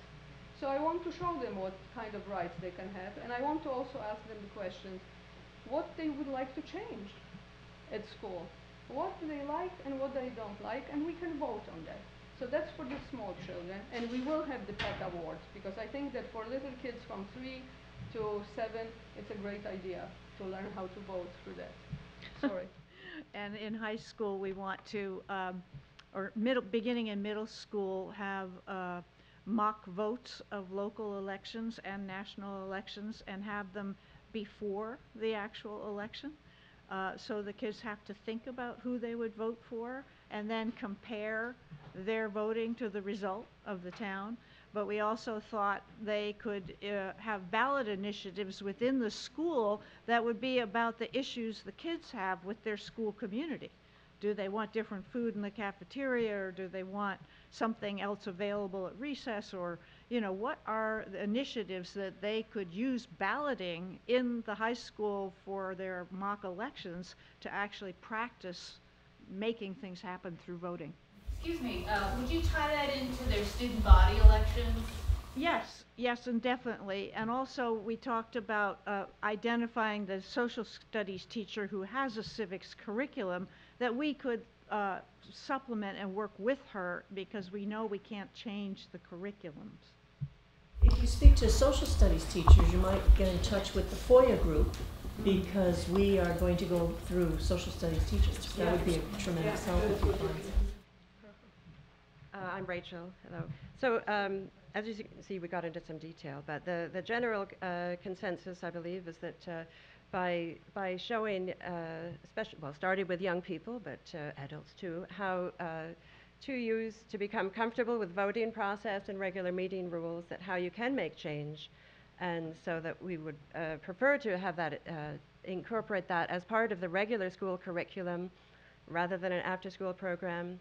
So one of uh, our plans, I think, well, speaking for myself, I'm going, my first move would be to find out what's happening at our local schools, find out which classes are responsible for this kind of activity, see if they have time to do it or if they feel it could be done better, uh, that maybe we could form a coalition uh, with interested citizens, but also to reach out to existing uh, organizations in the town who may also be very interested in encouraging this, such as the American Legion or the Kiwanis uh, or the Grange or um, Rotary. There's many, many, there's many, many groups that already exist, and In after-school and I feel that programs. most of them, uh, we all felt that most of them would be very interested in this, and so that it really very swiftly builds a base of support that maybe uh, the school uh, teachers or the, or the school board uh, would be supported in expanding this program if we feel it was insufficient.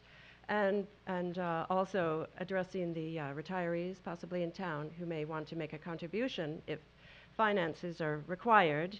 Uh, and then maybe we would make prizes or pizza parties, have some, in, this, in, in the case of the school children, some concrete um, effect for their vote, that they see visible change if they're voting on something, and uh, that maybe they get a reward as well.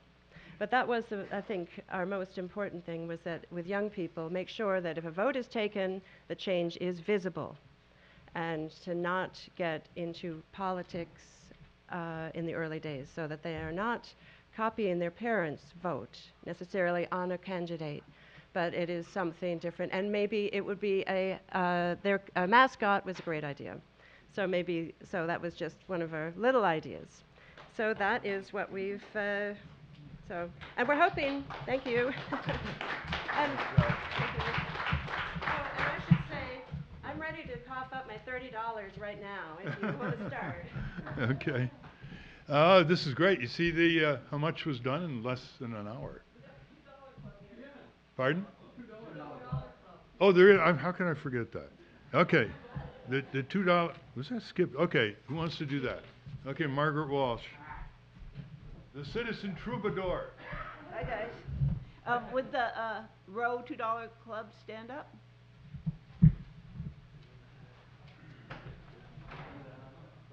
Yay. So, um, I'm gonna start with sort of, um, uh, the traditions. We're gonna speak our community's language, and, um, we will keep showing up to each other, at least to our club members. We've come up with a three-step commitment. First, we're gonna agree that we, I gotta take off these glasses. Uh, First, we agree that we will, we need more people to show up. So to be in the two dollar club, you agree that we need more people to show up and speak up. Either in, uh, speak up for the common good, speak up for civic duty, neighbor, neighborhood is a variable term. So, um, if they have, could you follow that? And then the second is, um, we're gonna agree to show up regularly to do your civic duty, or to do the common good, or to do something for your neighborhood, the same variable. And the third agreement is to, um, meet up and build skills and define agenda for either the common good, the civic duty, the neighborhood, the variable term. I, I uh, meant to uh, do this part first, but it's why we chose this um, group. One was uh, new to a neighborhood. It would be a good way to meet and discuss anything. Um, and um, the main issue would be uh, it's a community with lots of media people. And uh, uh, focus on the relevance of the press. Another was the logistics, boots on the ground, the occupy, simple, the numbers. Another is a problem in the country, the lack of civil action. Um, had, has had gatherings in the past, organized with discussions and brought in speakers, and uh, uh, ne- needs to think of ways to get more people to show up and uh, give feedback.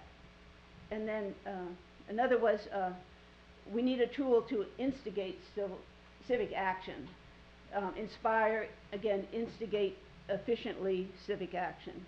Another one, um, uh, the major election was disappointed by the major election by the turnout and um, the people who uh, met uh, the mandatory voting uh, issue.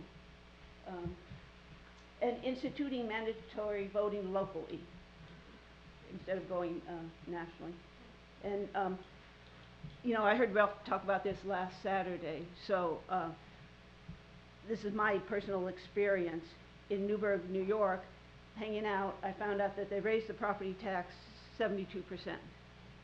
And people who had modest homes lived and paid their taxes, but when their taxes doubled, the city took their homes. So there are blocks not far from Main Street that are houses, beautiful old houses boarded up. And they're putting up chain link fences and these old guys are sitting on the stoop of a duplex that was remodeled but has been condemned. And they're just putting lots. So I'm, I've been kind of talking to these guys, trying to call it outside agitator.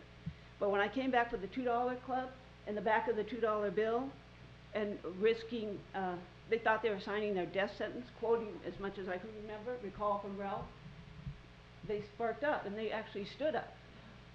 And um, so That's one $2 club for me. And the other one is Tito on the corner, who sells hot dogs. He says he's going to work outside the system and get rich. And he's in another $2 club. So it's just, you know, for me, it's just provoking people to get engaged. They don't have $2, they don't have 2 cents, and they don't talk. They don't have two minutes or two words, whatever. I'm embellishing. But I'll um, go really quickly over these. Uh, to be in the uh, $2 club, you agree that uh, we need more people to show up. That's all you got to do to be in the club is agree that we need more um, people to show up and speak up. Um, and you agree to show up regularly, to speak up, show up and speak up. And uh, you agree to uh, meet as a club to build skills and define agendas. Thank you. Thank you. Thank you very much, uh, Margaret. Uh, uh, uh, Look what's come out of just an hour, you see, and the predicate of what we've done in a year and a half. Now, the key is to go beyond the pilot project, to go beyond the successful one instance here or there, scale it up and refine it so it starts becoming contagious and spreads. And, you know, we've had that in our past, right? There was a, a Girl Scouts, uh, one. There was a Boy Scout, one. And they started. And they spread all over the country. The Grange, for example. How did they do that? They did that because the original model hit a chord that was common all over the country. Hit a chord, hit a need, uh, hit a value that was uh, recognized all over the country. But they also did it in another way. They learned from the first success and refined it, where it had rough edges, didn't quite work as well. They refined it. To take an invidious example, the first McDonald's was in, near Chicago. And, uh, uh, and uh, they, they learned from the first McDonald's what worked, what didn't work. They started three, four more. And they learned what worked and didn't work. How do you look for the location? How do you do portion control? How you hire people? How do you promote? And the more they learned, they went like one to three to 10 to 30 to 60. So they were setting one up, you know, like every day around the country. Um, and, and because they knew exactly what problems they were going to confront because they have it overwhelmed them, and as they moved forward, they confronted fewer problems. And they became more, quote, efficient. Now, when I was in the Army and I was in basic training, we had a tough sergeant, but he had a real wit. And here's one way he motivated us. He said, listen, guys, or he actually called us men. Imagine we've lost the word men. Everything is guys. And men and women are guys now, right? Um, it's okay to use the word women, but they took it away from us. Men. Imagine using the word men. Um, anyway, he said, Men, he says to us, I mean, we just finished running with our backpack like we were panting. Let me tell you something. The Army is a system devised by geniuses so it can be run by idiots like you. And I thought that was a profound comment. In other words, it, it was devised by geniuses organizationally, but they made it easier and easier and easier with the lesson plans and all the instructions to participate. And so they lowered the barrier of entry in terms of difficult to perform or to participate. We're not talking about the battlefield, the, the regular, you know, operations of the Army, the routine things.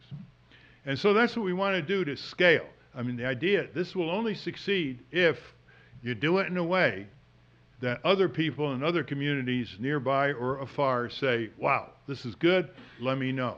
That's why the NOTA manual is so important, you see, because that overcomes one hurdle. Not all the hurdles, it overcomes one hurdle.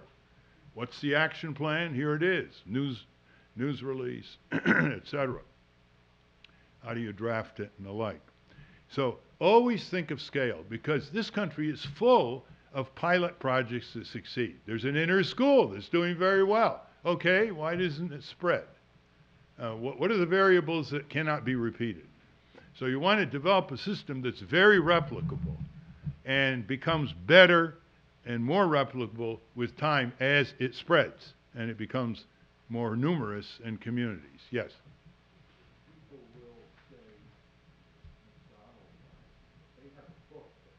Yeah.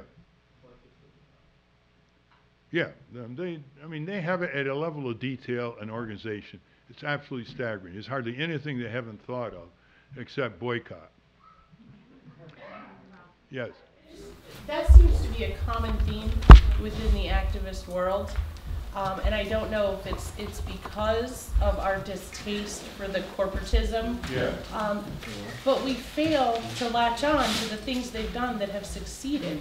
Their marketing, their strategizing, their planning. They, it works. That's why they're winning, Yeah. because it works. Yeah. We don't have to reinvent the wheel with everything we do. We should be taking hold of the things that they're doing Yeah. that are getting them out there and grabbing onto those and using them for good things. And it's, it's a struggle. I have a very hard time have- getting other activists to try to, to do that. They, they have such a distaste for, for what's been done with it that they throw the baby out with the bathwater. Yeah, you're right. Some activists look, look at organization as an enemy, as, as a front, an insult. Heaven forbid, you know, dis- discipline and coordination and leadership. Uh, the reason why the corporations win so often is just pure organization. Uh, and you know, we outnumber them. Uh, we have common values and pursuits, but you don't organize, you don't get it. Yeah. Yeah. Yeah, yeah, that's true. I mean, you, you know, you, and also you get the best practices, right.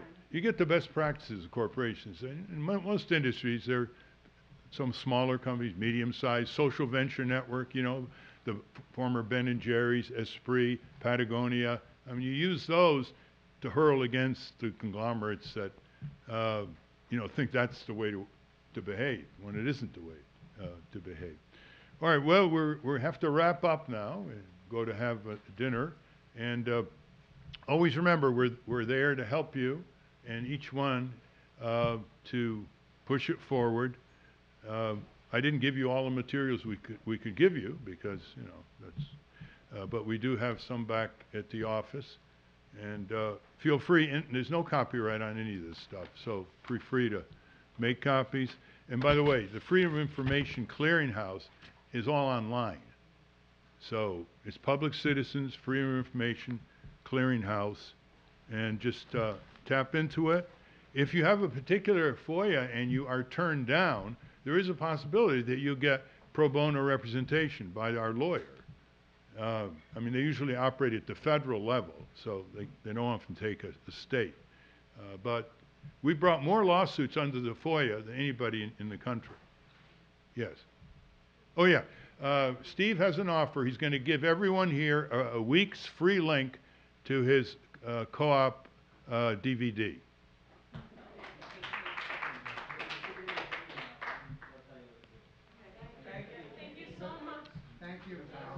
Okay, thank you.